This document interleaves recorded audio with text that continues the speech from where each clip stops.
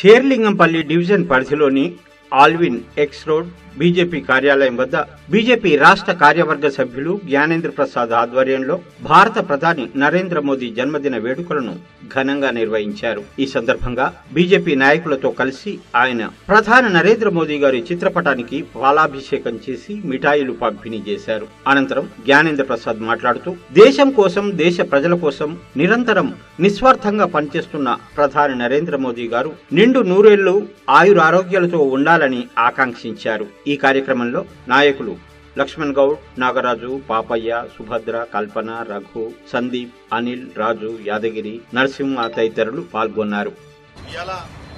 ఏదైతే ప్రపంచ దేశాల్లోనే భారతదేశాన్ని విశ్వగురుగా చేసే ప్రయత్నంలో దాదాపుగా రోజుకి పద్దెనిమిది నుంచి ఇరవై గంటలు పద్దెనిమిది నుంచి కష్టపడుతున్నటువంటి నరేంద్ర మోడీ గారి ఇవాళ డెబ్బైవ జన్మదిన సందర్భంగా ఈ కార్యక్రమాన్ని ఏర్పాటు చేయడానికి అబిస్పేట్ డివిజన్ అధ్యక్షుల యొక్క సహకారంతో ఖచ్చితంగా నరేంద్ర మోడీ మనం అందరం కూడా ఆదర్శంగా తీసుకోవాలి.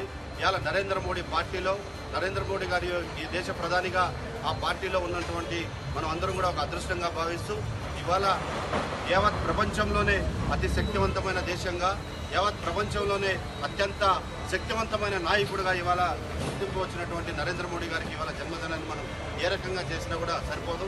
ఏదేమైనప్పటికీ ఆయన ఈ దేశం కోసం నిస్వార్థంగా పనిచేస్తూ ఈ దేశం ప్రపంచంలో కల్లా అగ్రరాజ్యంగా తయారు చేయడమే లక్ష్యంగా పనిచేస్తున్నటువంటి ఆ మోడీ గారికి ఇవాళ జన్మదిన సందర్భంగా మనం ఆయనకి పాలాభిషేకం చేసుకుంటూ రేపటి నుంచి కూడా సేవా కార్య సేవా సప్తాహాల చేతనైంత చేతనైనంత ప్రజలందరికీ కూడా సహకారాలు అందించాల్సిందిగా ఏదైతే భారతీయ జనతా పార్టీ అఖిల భారతీయ పార్టీ నిర్ణయం తీసుకుందో ఆ నిర్ణయానికి మనం ఇవాళ ఆయనకి చేసుకుంటూ రాబోయే రోజుల్లో కూడా ఆయన నాయకత్వంలో మనం అందరం పనిచేసి దేశాభివృద్ధి ఇటు రాష్ట్ర అభివృద్ధి ఇటు మన ప్రాంత అభివృద్ధిలో మనం అందరం భాగస్వాదులు అని చెప్పి ఈ సందర్భంగా మనం చేస్తూ నరేంద్ర మోడీ గారి నాయకత్వం.